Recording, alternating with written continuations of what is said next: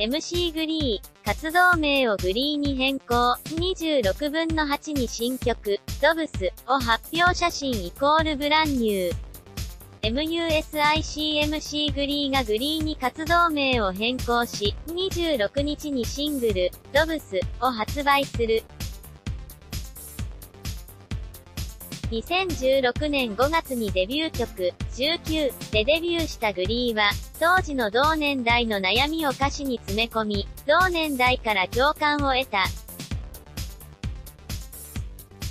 同年10月に発売したシングル、布団の外は危険は、時間が経ってからより話題になった楽曲で、ワナワンのイデフィとパクージン。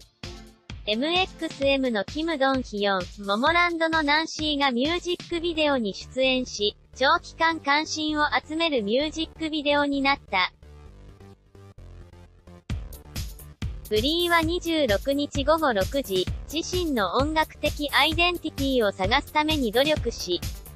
た結果である新曲、ドブスを発売し、音楽人生の新たなページを開く。